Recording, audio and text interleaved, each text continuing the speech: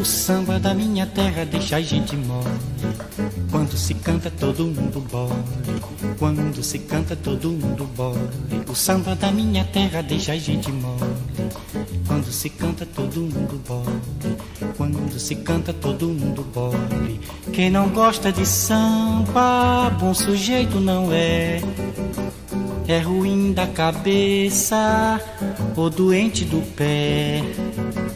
Eu nasci com o samba, no samba me criei. Do danado do samba, nunca me separei. O samba da minha terra deixa a gente mole. Quando se canta todo mundo bole. Quando se canta todo mundo bole.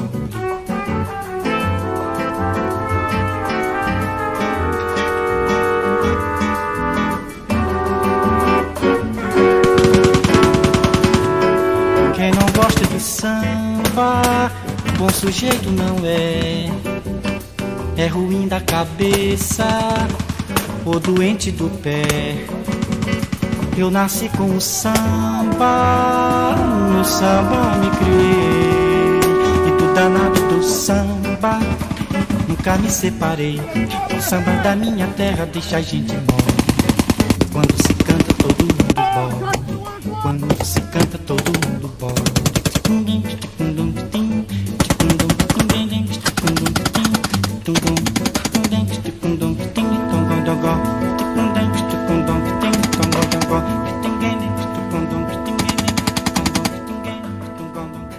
I'm going to spend this time to talk a little bit about uh, something I know is not covered in almost like any popular YouTube military video thing anywhere property. Now, if you ask any of my NCOs or any of my Joes what my actual job is, it's A, make them miserable on Monday morning runs, and B, to sign for all the property for the platoon. This is my property book.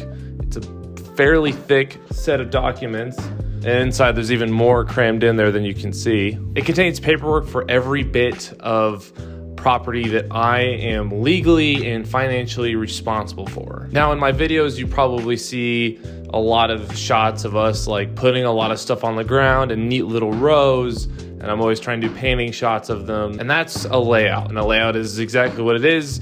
You take all the stuff that you're trying to get accountability for and you lay it out. Not very inspired, but the name gets to the point. Now, property is generally speaking anything that I'm responsible for that is not the soldier's individual kit. Short of like their weapons and their NVGs, that's everything else. So, radios, binoculars, compasses, these little things that make it so that the rifle will cycle when you fire a blank through it. Even the Bradleys themselves, I am signed and legally responsible for. Not only like the Brad itself, but all of the hundreds of little items that are included that are issued with the Bradley, and those all had to be accounted for specifically. Now, a lot of it makes sense, like like towing cables, fire extinguishers, wrenches, stuff that you know you'd want to haul it or to fix it or to prevent it from catching on fire. You know, stuff on the surface makes sense. But then I'm responsible for things like a, a putty knife or a six inch ruler, like a, a, whole axe. And that's per Brad. So I have four axes that if they get lost,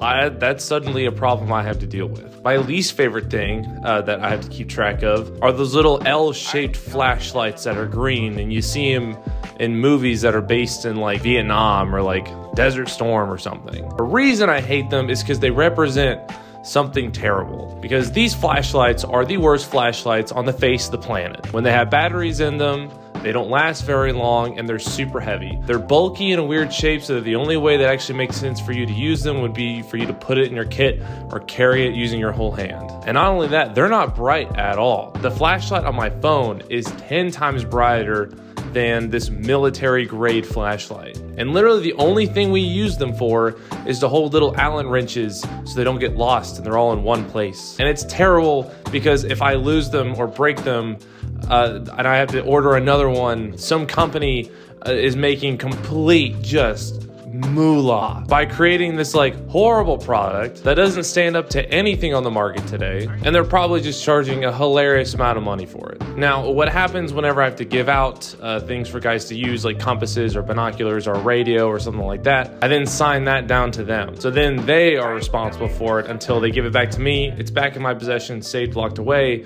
and then it's my issue again. So like when we go land naving, I have 30 or 40 pieces of paper. I have 30 or 40 forms signed and dated by the soldier that I have to keep track of just so that I can get back my compasses that I'm responsible for. And property getting lost or more likely mysteriously walking away on its own through no fault of anyone else's, never to be seen again is not that uncommon. And many officers who aren't experienced enough to deal with property or to manage it better often find themselves having to fill these little shortages that we call them. And this is where the beautiful role of a junior NCO comes in and their just shadiness because it, oftentimes if a junior officer were to tell generally like an E5 or maybe like a senior specialist, hey, I'm missing an antenna or something, oftentimes they will go away and then come back five minutes later. Well, you have no recollection of where they went, and they have somehow instantly acquired whatever it was that you were missing. I guess junior NCOs just have like this magical knack that I don't know how it works, nor do I want to know how it works. And it proves the old saying that there's only one thief in the army,